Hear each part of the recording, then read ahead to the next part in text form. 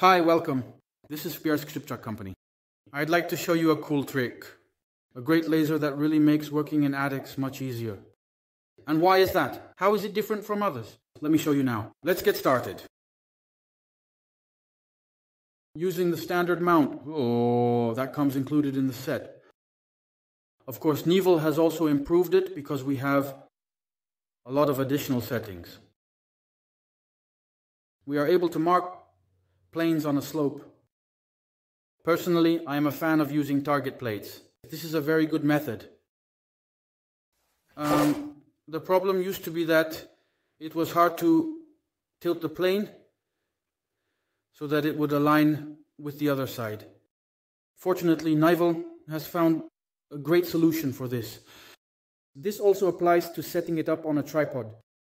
Nivel has found a very good solution, namely an app that allows us to control the locked beam.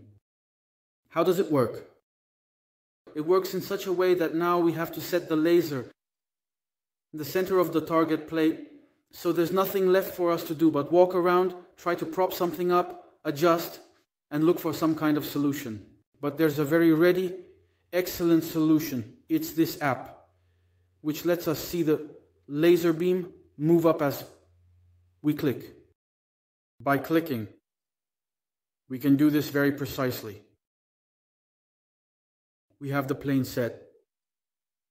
As you can see in the attached image, and now we can start mounting the brackets to the attic. As I mentioned before, this also helps with leveling on a tripod because as we know, even a slight movement of the tripod automatically changes the position, but with this app we are able to control it in multiple planes as well. So it will definitely make our work easier.